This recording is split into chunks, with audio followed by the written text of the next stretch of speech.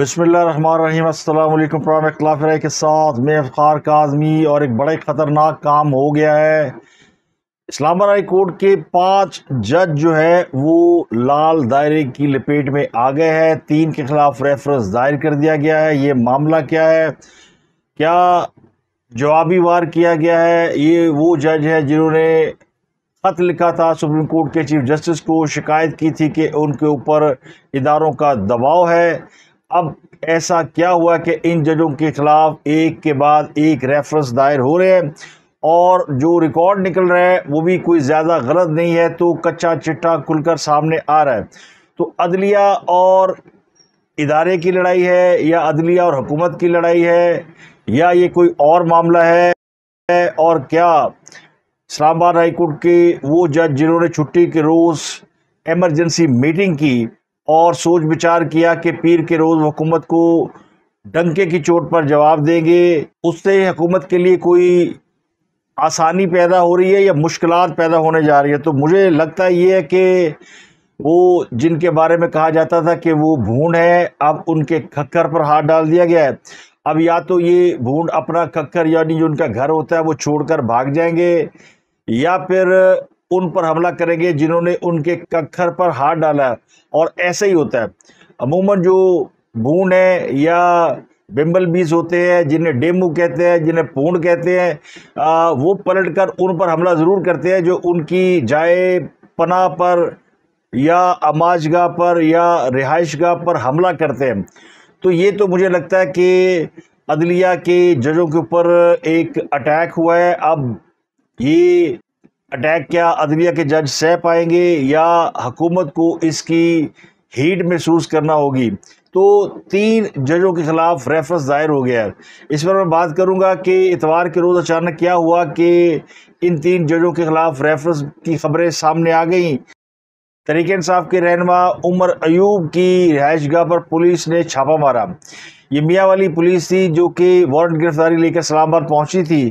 لیکن عمر ایوب گھر پر نہیں تھے، اس لیے کہ اس چھاپے کی اطلاع بہت پہلے سوشل میڈیا پر وائرل ہو چکی تھی کہ میاں والی پولیس جو ہے وہ نکل پڑی ہے عمر ایوب کو گرفتار کرنے کے لیے، کیونکہ سرگودا کی عدالت نے ان کے وارنٹ گرفتاری جاری کر دیے پولیس کو عمر ایوب جو ہے وہ انسدادی دہشت گردی کے مقدمے میں مطلوب ہیں سرگودا انسدادی دہشت گردی کی عدالت نے ان کے وارنٹ گرفتاری جاری کیے۔ تو اس اطلاع کے بعد عمر یوب اپنے گھر تو رکنے والے نہیں تھے تو انہوں نے دوڑ لگا دی۔ اس سے پہلے کہ اسلام آباد پولیس کے ساتھ میاں والی پولیس مل کر ان کے گھر پہنچتی، وہ کہیں کوسوں دور پہاڑوں کی طرف جو ہے وہ روانہ ہو چکے تھے۔ راستے میں انہوں نے اپنا بیان دیا، گاڑی میں بیٹھ کے اور کہا کہ اے ٹی سی سرگودا کی جانب سے میرے خلاف قابل ضمانت وارنٹ گرفتاری جاری کیے ہیں اور اگر میں پیش ہو جاؤں تو وہ وارنٹ کینسل ہو جائیں گے۔ لیکن میاں والی پولیس تو اس نے سیریس لے لیا میٹر کو، وہاں سے چل پڑے ہیں اور میرے گھر انہوں نے چھاپا مار دیا اسلام آباد میں اور اس میں اسلام آباد پولیس بھی ان کے ساتھ انوالو تھی۔ لیکن وہ گرفتار نہیں ہوئے، وہ اپنے گھر سے نکل گئے۔ اور ویسے بھی یہ خبر جو ہے، وہ ان کی طرف سے آ رہی ہے۔ پولیس ذرائع اس بات کی تصدیق نہیں کر رہے کہ انہوں نے واقعی عمر ایوب کے گھر میں چھاپا مارا ہے۔ قومی اسمبلی کے جو قوانین ہیں پارلیمنٹ کے، مروجہ قوانین ان کے مطابق کسی بھی پارلیمنٹیرین کی گرفتاری سے قبل اسپیکر قومی اسمبلی سے اجازت لینا ضروری ہوتی ہے۔ عمر ایوب، جنہیں چند روز قبل عمران خان نے ناراض ہو کر جنرل سیکرٹری کے عہدے سے فارغ کر دیا تھا۔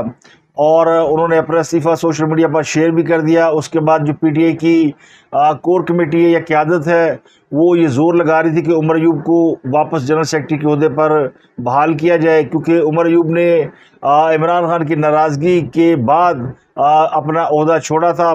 اور عمران خان صاحب نے ان سے کہا تھا کہ وہ جو ہے وہ جنرل سیکرٹری کا عہدہ چھوڑ دے پارٹی سے علیحدہ ہو جائے اور پارلیمنٹ کے اندر اپنی ذمہ داری ادا کرتے رہے تو اس وقت تو عمر ایوب کے اندر کا پٹھان جاگا اور اس نے استعفیٰ دے دیا۔ بعد میں ایک نئی موومنٹ چل گئی اور پتہ چلا کہ اس عہدے پر اب پنجاب سے کسی کو نامزد کیا جائے گا اور اس میں شیخ وقاص اکرم کا بھی نام آ رہا تھا۔ تو ان کو یہ فکر لاحق ہو گئی کہ اب کوئی پنجابی جو ہے وہ پارٹی کی اہم سیٹ پر قبضہ کرنے والا تو سارے مل گئے اور انہوں نے واپس عمر ایوب کو اس عہدے پر ریسٹور کر دیا ہے یا کروا دیا ہے۔ کیونکہ بیرسٹر گور کے دست سے یہ جاری ہو چکا ہے کہ عمر ایوب اب دوبارہ پارٹی کے جنرل سیکرٹری ہے اب یہ ہے جو معمہ حل ہونے والا ہے کہ عمر یوب سے پہلے استعفیٰ دے دیا گیا۔ دو دن بعد پھر وہ جب گئے ملنے کے لیے عمران خان سے تو وہاں پر ان کو روک لیا گیا۔ وہاں انہوں نے گالیاں والیاں دی لوگوں کو برا بلا کہا اور ایسی تیسی پھیری۔ پھر اب دو دن بعد ہی خبر آتی ہے کہ ان کا استعفیٰ واپس لے لیا گیا لیکن اگلی خبر یہ کہ ان کے گھر پہ چھاپا پڑ گیا۔ تو یہ دھوپ چھاؤں کا جو کھیل ہے، یہ لوگوں کو اس کی گتھی سمجھ میں نہیں آ رہی۔ لیکن میں آپ کو فواد چودھری کی مثال دیتا ہوں کہ فواد چودھری وہ ہے جو پولیس کو دیکھ کر اسلام آباد ہائی کورٹ سے بھاگ گئے تھے۔ اور اتنی بری طرح بھاگے تھے کہ ان کا سانس پھول گیا تھا اور شیر افضل مرد کہتے ہیں کہ وہ ایسے بھاگ رہے تھے جیسے ختنی بھاگتی ہے۔ تو جو شخص پولیس کو دیکھ کے اس طرح دم دبا کے بھاگا ہو، اس کے بعد وہ بڑے آرام سے گرفتاری دے، چھ مہینے جیل کاٹے اور اس کے ریکارڈ میں لکھا جائے کہ وہ بھی یعنی سیاسی اسیر ہے۔ تو یہ اس طرح کے چھاپے، اس طرح کی گرفتاریاں آپ کی مشکوک حیثیت کی ویلیڈیشن کے لیے ہوتی ہیں۔ یعنی اس کی پکا کرنے کے لیے ہوتی ہے کہ بندہ ٹھیک ہے، آسان زبان میں۔ تو مجھے لگتا ہے کہ عمر یوب جو ہے وہ اپنی لائلٹی ثابت کرنے کے لیے اس طرح کی حرکتیں کر رہے ہیں۔ اب بہرحال یہ میرا اپنا اندازہ ہے، میری کو معلومات نہیں ہے، لیکن اس دوران شیریں مزاری بھی منظر عام پر آ گئی ہیں۔ اور انہوں نے ایک انٹرویو بھی دے دیا ہے، اور اس میں انہوں نے کہہ دیا کہ میں نے پارٹی مجبوری میں چھوڑی ہے، جو سب لوگ کہتے ہیں۔ اور پھر انہوں نے کہا کہ میں نے پارٹی جب چھوڑی، میں نے پریس کانفرنس کی تو اس کا ذریعہ ان کی صاحبزادی ایمان مزاری بنی، جو بڑے آزادی کے نعرے لگاتی ہیں اور اسٹیبلشمنٹ کے خلاف علم جہاد بلند کرتی ہیں اور برا بلا کہتی ہیں۔ انہوں نے ہی اسٹیبلشمنٹ کے کہنے پر اپنی والدہ کی باقاعدہ پریس کانفرنس کرائی اور خود شیریں مزاری کہتی ہے کہ میری کسی سے ملاقات نہیں ہوئی، مجھے کسی نے نہیں آگے کہا، میری بیٹی نے کہا کہ آپ کے لیے پیغام ہے۔ اور ایک تیسرا شخص بیچ میں ڈالا گیا تو اس کے بعد میں نے یہ پریس کانفرنس کر دی۔ تو ان کا یہ بیان بتاتا ہے کہ ایمان مزاری کا ایمان کہاں کھڑا ہے۔ لیکن ان کی لب کشائی کرنا، واپس آنا، یہ عمران خان صاحب کی اس خواہش کا نتیجہ ہے جو بعض ذرائع کہتے ہیں کہ وہ ان کو واپس چاہتے ہیں اور چاہتے ہیں کہ وہ پارٹی کی سربراہی سنبھالے کیونکہ شیریں مزاری جو ہے وہ ایک دبنگ عورت ہے۔ اور اس وقت پی ٹی اے کے جو بہت سارے دبنگ لیڈر ہیں، ان سے کہیں زیادہ وہ مزاحمت کی سیاست کرنے کی قائل ہے اور وہ زیادہ بہتر بول سکتی ہے تو اس لیے عمران خان اس قسم کے واریر چاہتے ہیں جو ان کے پاس آہستہ آہستہ کم ہوتے جا رہے ہیں، جو ایک آدھ واریر ہے، خود ان کو پڑا ہوا ہے۔ جن میں شیر افضل مرود نے کل ان کی جو ایسی تیسی پھیری ہے، اس کے بعد شیر افضل مرود کہتا ہے کہ کیا ایک لیڈر سے ایک ورکر اپنا شکوہ بھی نہیں کر سکتا۔ اس کے علاوہ ایک میجر جنرل کی ویڈیو ہے جو کہ سوشل میڈیا پر وائرل ہے۔ میجر جنرل کاشف خلیل، ان کے بارے میں یہ اطلاعات ہیں جو کہ میڈیا پر موجود ہے کہ وہ ناردرن ایریا کی جو آپریشنز ہیں، ان کے ہیڈ ہیں۔ اور انہوں نے ایک دیا میر میں جرگے سے خطاب کرتے ہوئے بتایا کہ آپریشن ہوگا اور وہ آپریشن جو ابھی جس کے بارے میں سیاسی جماعتوں کو، سیاسی عمائدین کو اعتماد میں لینے کی باتیں ہو رہی ہیں۔ لیکن فوج اپنی پریپریشن تیاری کر چکی ہے اور طے کر چکی ہے کہ وہ دہشت گردوں کا پیچھا کرے گی اور اس کے لیے کسی کو بھی نہیں معاف کرے گی۔ تو انہوں نے جرگے سے خطاب کرتے ہوئے خاصی خاصے غصے کا اظہار کیا اور خاصے جوش کا اظہار کیا اور یہ پیغام دیا۔ ان کی ویڈیو سامنے آنے کا مطلب یہ کہ یہ پیغام ہے۔ بالکل نہیں کہہ رہا کہ مجھے آل آؤٹ آپریشن کرنے کی، کے لیے جانے کی ضرورت ہے۔ میں نے ٹارگیٹڈ ہی کھانا ہے۔ میں نے سات مہینے پہلے بھی کھڑا ہو کے کہا تھا اور میں آج بھی کہہ رہا ہوں۔ ان میں سے ایک ایک کو چن چن کے مارنا ہے۔ سپورٹ ہوگی تو بسم اللہ۔ نہیں سپورٹ ہوگی تو بھی ماروں گا۔ کسی کو شک نہیں ہونا چاہیے اس بات کے اندر کہ یہ یہاں پہ گنڈا گردی بدماشی دہشت گردی نہیں چلنے دیں گے ہم۔ لیکن اس سلسلے کے اندر سپورٹ چاہیے سب کی۔ سارے مل کے کریں گے۔ تو ہم ان تک آرام سے پہنچ جائیں۔ گے اب یہ دو تسکینیں جو آ رہی ہیں، آپ مجھے بتائیں۔ ہمیں جب اطلاع ملے گی یہ کس جگہ پر ہیں، تو میں نے تو ٹارگیٹ ہی جانا ہے نا ان کے اوپر، ان کے پیچھے جانا ہے۔ لیکن اگر میں جس گلی میں سے، جس گاؤں میں سے گزروں گا، راستے میں مجھ پہ لوگ فائر شروع کر دیں گے میری فورسز پہ، میں خاک پہنچوں گا ان تک؟ وہ تو پہلے سے بھاگ جائیں گے وہاں پہ۔ کیا وہ یہاں پہ عوام کے فائدے کے لیے آئے ہیں اس کو کس نے سمجھنا ہے؟ اس کو بہت سے لوگ اپریشیٹ بھی کر رہے ہیں، بہت سے لوگ کریٹیسائز بھی کر رہے ہیں۔ اور جمعرات کو گلگت بلتستان کے ضلع داڑیل میں انٹیلیجنس بیس ایک سیکورٹی آپریشن ہوا تھا، جس میں وہ لوگ مارے گئے تھے جنہوں نے دسمبر دو ہزار تیئیس میں چلاس سے اسلام آباد جانے والی بس پر حملہ کیا تھا۔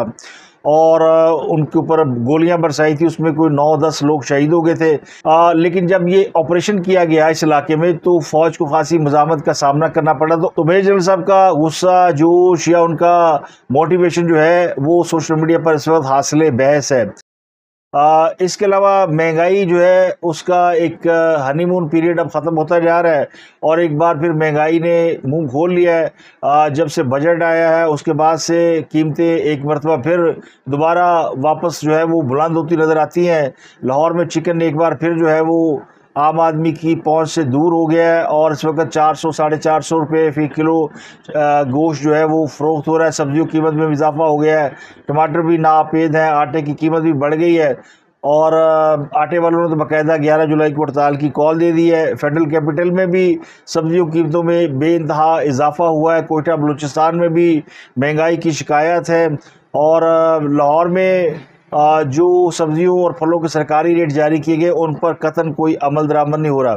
تو میں آپ کو قیمتیں الگ الگ نہیں بتا سکتا، لیکن میں آپ کو موٹی موٹی بات بتا دوں کہ آٹے کی بوری میں دو سو روپے اضافہ ہوا ہے اور ٹماٹر جو ہے وہ اس وقت تین سو روپے پلس جو ہے وہ نکل گیا۔ تو یہ شاید حکومت کی عدم تو یہی ہے یا پھر کوئی اور معاملہ ہے، لیکن بجٹ کے بعد صورتحال بڑی خراب ہے اور نہ صرف یہ معاملہ کہ مہنگائی، بلکہ لاہور میں تو اوور ویلنگ ہو گئی ہے۔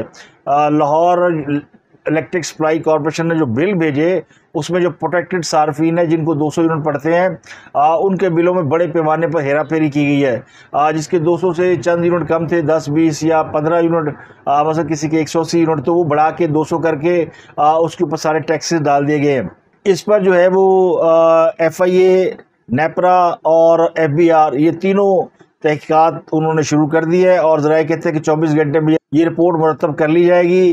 پرائم منسٹر اور وزیر داخلہ دونوں نے اس کے اوپر خاصی برمی کا اظہار کیا اور اوور بلنگ کرنے والے افسران اور عملے کے خلاف قانونی کارروائی کا حکم دیا ہے۔ اس کے علاوہ پی ٹی آئی کے اندر ایک اور بڑی جنگ چھڑی ہوئی ہے اور وہ لڑائی ہے جو پی ٹی آئی نے اسلام آباد میں ترنول میں چھ جولائی کو جلسہ کرنا تھا۔ اور بعد میں جب اس جلسے کا این او سی کینسل ہوا تو مقامی قیادت جو ہے وہ پیچھے ہٹ گئی۔ حالانکہ وہ یہ کہہ رہے تھے کہ ہمیں ریٹرن آرڈر نہیں ملے۔ لیکن اس کے بعد جو ہے وہ کارکنوں کے اندر بڑی مایوسی بھی ہے، غصہ بھی ہے۔ کیونکہ تحریک انصاف کے لوگ کہتے ہیں کہ بڑی تعداد میں لوگ نکلے تھے اور وہ لمبا سفر کر کے، راتوں کو سفر کر کے اسلام آباد پہنچ چکے تھے۔ جس رات جلسہ تھا اس سے ایک رات پہلے تک کسی کو یہ خبر نہیں تھی کہ تحریک انصاف نے پیچھے ہٹنے کا فیصلہ کر لیا ہے۔ تمام رہنما بھی کہہ رہے تھے کہ ہم جلسہ کریں گے، لیکن پھر اچانک ایک پریس کانفرنس ہوئی اور اس کے بعد وہ جلسہ جو ہے وہ دبردوس ہو گیا۔ لیکن جو لوگ اپنے گھروں سے نکل کر آئے، چھپ کر آئے، نمک لے کر آئے آنسو گیس سے بچنے کے طریقے ڈھونڈ کے لے کر آئے۔ بہت سے طریقے سوشل میڈیا پر پی ٹی کے لوگ خود شیئر کر رہے تھے کہ آپ اپنے ساتھ نمک لائیں، پانی لائیں، کپڑا لائیں، فلانا لائیں۔ کیونکہ ان کو خدشہ یہ تھا کہ پولیس روکے گی، لاٹھی چارج ہوگا، مار پیٹ ہوگی۔ سب سے زیادہ لوگوں کو اعتراض ہے علیمین گنڈا پور کے اوپر کے جو جلسے سے ایک دن پہلے بڑی بڑکے مارے تھے، اگلے دن بالکل خاموش رہے اور انہوں نے پرویز خٹک کے اوپر اٹیک شروع کر دیا۔ جلسے کے اوپر کوئی بات نہیں کی۔ مانسرا جلسے میں انہوں نے باقاعدہ کہا تھا کہ مانسرا پہنچو تو ان کو کچھ علم نہیں تھا۔ تو ذرائع کہتے ہیں کہ یہ قیادت جو ہے، غدار ہے یا بزدل، یہ اس کے اوپر بحث چل رہی ہے۔ بہت سے لوگ کہتے ہیں کہ یہ غداری ہے۔ انہوں نے جلسہ منسوخ کر کے جو کارکنوں کا مرائل ہے، وہ ڈاؤن کیا ہے۔ ان کا حوصلہ توڑا ہے۔ جبکہ بہت سے لوگ سمجھتے کہ نہیں، یہ پیدائشی بزدل ہے یہ پہلے بھی ایسے ہی تھے۔ یہ ڈر جاتے ہیں جب تک ان کے سر پر کسی طاقتور کا ہاتھ نہ ہو۔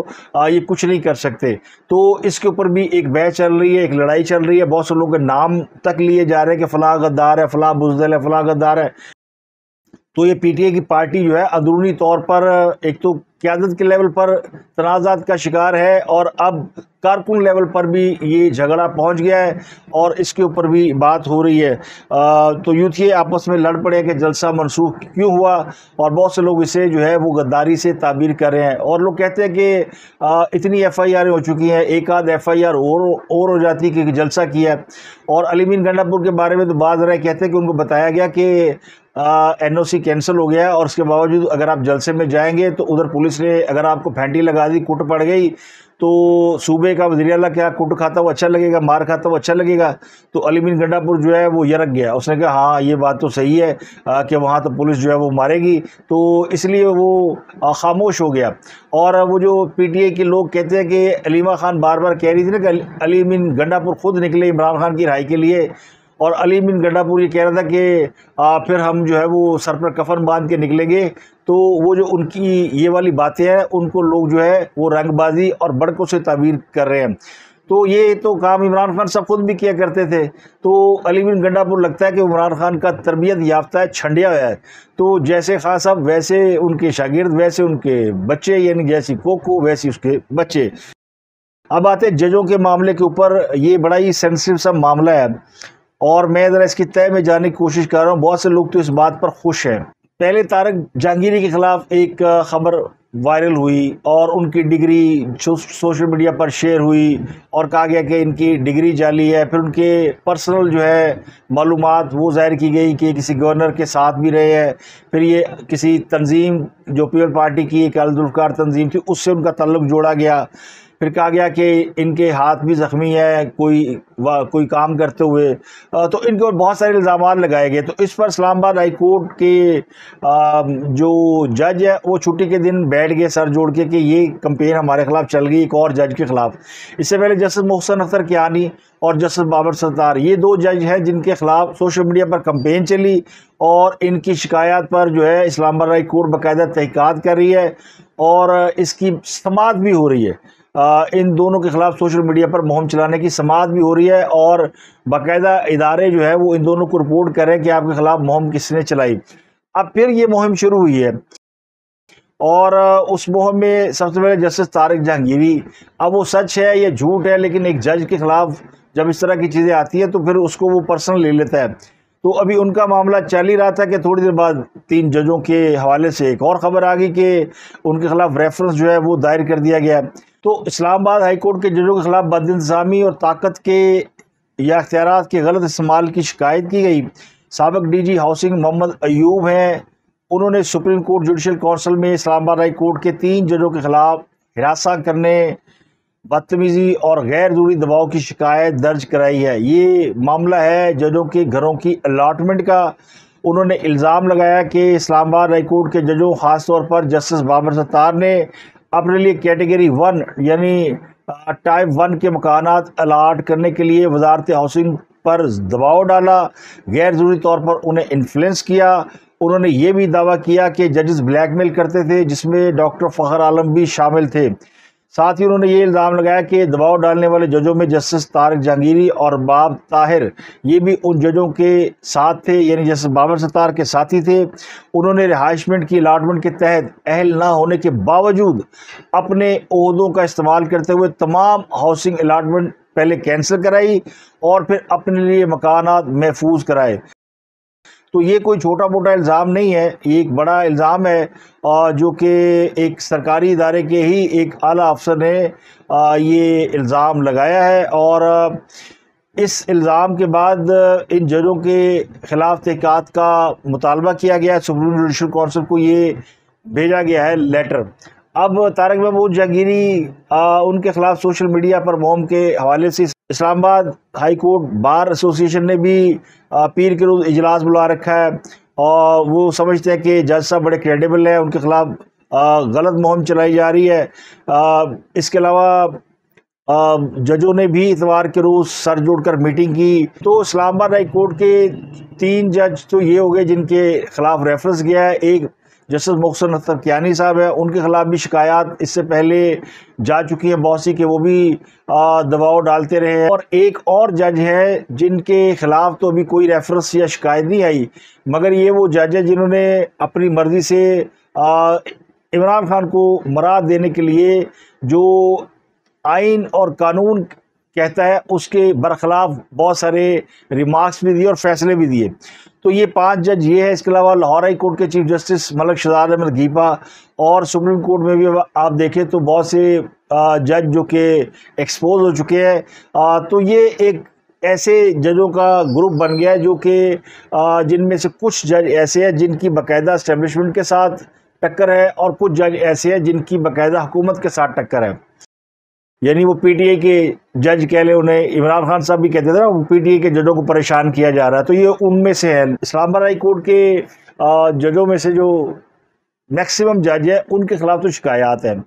تو پھر اسلام آباد ہائی کورٹ کہاں کھڑی ہے؟ اب مجھے لگتا ہے صرف جسٹس عامر فاروق اور جسٹس میاں گل حسن اورنگزیب جو آلریڈی سمجھے جاتے ہیں کہ وہ پی ٹی اے کے بہت قریب ہے تو اسلام آباد ہائی کورٹ جو ہے وہ میجورٹی ججوں کی اس وقت لگتا یوں کہ ان کے خلاف کوئی کمپین چل رہی ہے یا وہ کسی کے ساتھ محاذرائی میں انوالو ہے ان ججوں کے خلاف ریفرنس مجھے ایک مبینہ طور پہ سازش لگتی ہے۔ اور یہ سازش کسی اور کے خلاف نہیں ہے، حکومت کے خلاف ہے۔ جن ججوں کے سامنے کیس لگے ہوئے ہیں، بڑے اہم کیس لگے ہوئے ہیں، اور ان ججوں کے خلاف اگر ریفرنس فائل ہوتے ہیں تو اس کا مطلب یہ ہوتا ہے کہ اڑتا تیر لینا۔ یعنی کسی کو پروک کرنا، کسی کو غصہ چڑھانا یہ بالکل ایسے ہی ہے جو آٹھ فروری دو ہزار چوبیس کے الیکشن ہوئے تھے، اس سے چند روز قبل عمران خان کو اہم کیسز میں سزا سنا دی گئی۔ اور بعد میں یہ تسلیم کیا حکومت کے لوگوں نے بھی، اور لوگوں نے بھی کہ اگر وہ فیصلے نہ سنائے جاتے، جن میں عدت میں نکاح والا کیس بھی شامل ہے، تو عمران خان کو الیکشن میں شاید اتنی سیٹیں نہ ملتی جتنی ملی ہیں۔ ہاں، ان کی لوگوں کو غصہ چڑھا کہ اس طرح کا کیس اور اس طرح کے فیصلے۔ تو اسی طرح مجھے لگتا ہے کہ ان ججوں کو بھی غصہ چڑھایا جا رہا ہے کہ آپ کچھ ایسے فیصلے کریں۔ اب آپ دیکھیں ایک بڑا اہم کیس جو آج لگا ہوا ہے۔ اسلام آباد کے تین حلقوں میں مبینہ دھاندلی کا کیس ہے۔ پی ٹی اے کے امیدواروں کی پٹیشن پر سماعت ہے پیر کے روز اور یہ سماعت کرنی ہے جسٹس تارک محمود جہانگیری صاحب نے۔ اب طارق محمود جنگیری کے خلاف اتنا کچھ سوشل میڈیا پہ چل چکا ہے تو جج جب بیٹھے گا سیٹ کے اوپر تو پورے غصے میں ہوگا۔ اور غصہ کس پہ آئے گا؟ اس کو حکومت پہ آئے گا۔ وہ کہے گا کہ ایسی ایسی تیسی حکومت میرے خلاف کر رہی ہے۔ اگر حکومت نہیں بھی کر رہی تو کہے گا روک کیوں نہیں رہے؟ تو اس جج کو تو پورا پورا غصہ چڑھا ہوگا تو اس نے پہلے سے آرڈر کر دیا سیکورٹی سخت کر دیو جس کے پاس پاس نہیں ہوگا، وہ اندر نہیں آئے گا تو وہ کل کو فیصلہ یعنی پیر کے روز کو فیصلہ وہ سنا سکتے ہیں۔ ہاں، اس بات کا امکان بہت زیادہ ہے کہ وہ اپنے غصے کا اظہار یا جواب جو ہے وہ اس طریقے سے دیں گے۔ یہ بعد میں چیلنج ہو جائے گا، وہ علیحدہ بات ہے، لیکن آپ حکومت کو تین نشستوں کا جھٹکا یہاں پر وہ دے سکتے ہیں۔ جو تحریک انصاف کا اسلام آباد میں تنول جلسے کا این او سی منسوخ کیا چیف کمشنر اسلام آباد نے جس میں چیف کمشنر، ڈپٹی کمشنر اور آئی جی اسلام آباد، ان تینوں کے خلاف تحریک انصاف نے توہین عدالت کی درخواست دے رکھی ہے۔ اس کی سماعت کرنی ہے جیسے بابر ستار نے۔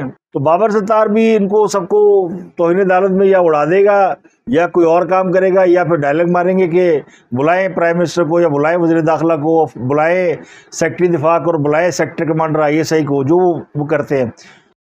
بابر ستار جن کو یہ بتایا گیا تھا کہ ان کے خلاف جو کمپین چلی سوشل میڈیا پر، وہ چلانے والے زیادہ پی ٹی آئی کے لوگ تھے۔ اب ان کو سمجھ تو آنی چاہیے کہ یہ جو سوشل میڈیا پر کمپینیں چلتی ہیں، یہ اس میں صرف حکومت یا ان کے مخالفین شامل نہیں ہوتے۔ بلکہ وہ لوگ بھی شامل ہوتے ہیں جو چاہتے ہیں کہ ان کے مخالفین کے خلاف ان کو استعمال کیا جا سکے۔ تو یہ جج مجھے لگتا ہے استعمال ہو رہے ہیں یا ان کو استعمال کرنے کی کوشش کی جا رہی ہے۔ یہ شکایتیں اس وقت میں سامنے اس لیے لائی گئی ہیں کہ یہ حکومت کے خلاف کوئی فیصلہ کرے یا اسٹیبلشمنٹ کے خلاف کوئی ریمارکس دے یا ان کے ساتھ کوئی یعنی ہیڈ آن ہو جائے تو جس سے جو جو دوسرے لوگ ہیں ان کو فائدہ پہنچ سکے۔ مجھے لگتا ہے کہ یہ اڑتا تیر جو ہے حکومت تو کبھی کسی صورت نہیں لے گی اور نہ ہی ادارے اس میں اتنا زیادہ انٹرسٹڈ ہوں گے۔ یہ جس نے بھی کام کیا ہے اس نے ایک تیر سے کئی شکار کرنے کی کوشش کی ہے۔ تو اب تک کے لیے اتنا ہی۔ آپ سے ملاقات ہوتی ہے اگلے بھی میں۔ اپنا گردن لوں کا بہت خیال۔